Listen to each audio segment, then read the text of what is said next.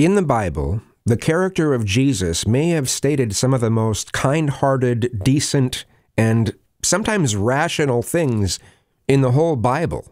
And I think people could benefit from taking to heart some of Jesus' teachings. But the supernatural side of the Jesus story is one of the least rational and logical parts of the Bible. It just doesn't make any sense. I mean, there's plenty of other areas that don't make any sense. I mean, the supernatural parts of the Bible in general don't really make that much sense, but this belief is crucial in order to consider yourself a Christian. You can't just follow Jesus' teachings and philosophies. You can't just try to be more Christ like. You have to believe Jesus is the Son of God or is God in human form, and that he sacrificed himself to himself so he could rise up and the rest of humanity can be forgiven for all their sins. Provided you believe in and pray to this sacrificed human, which is actually God, to ask for forgiveness. It simply doesn't make any sense. I don't even understand the connection. Would die for your sins. What is how you?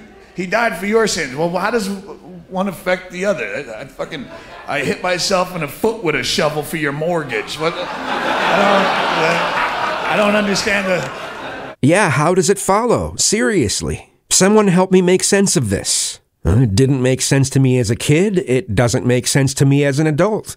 It is the primary reason why I was never fully able to connect with religion except for the guilt side, and then that was really hard to get rid of because the Jesus story didn't make sense. And it doesn't matter how many people are so emotional when they tell me that Jesus saved them.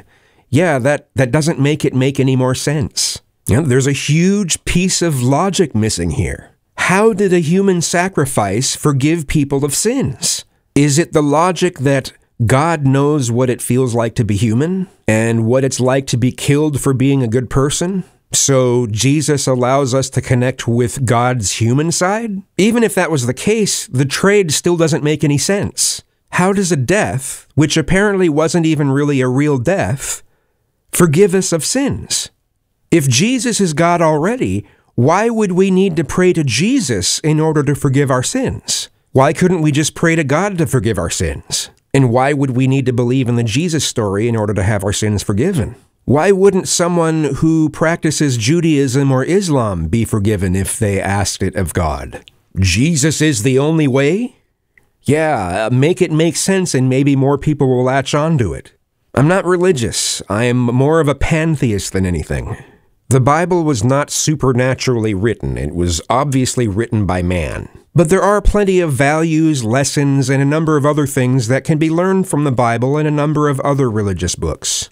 What is your understanding, though, of how this supernatural trade is supposed to work? How does a human sacrifice translate to humans being forgiven of doing bad things? Let me know in the comments. Thanks.